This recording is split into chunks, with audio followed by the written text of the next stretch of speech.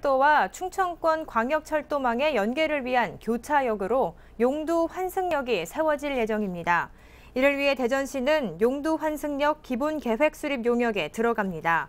대전 중구 용두동 계룡육교 일원에 건설될 예정인 용두 환승역은 현재 대전 도시철도 1호선과 충남 계룡역에서 신탄진역을 연결해 충청권 광역철도와 X축으로 교차하는 지점이 됩니다.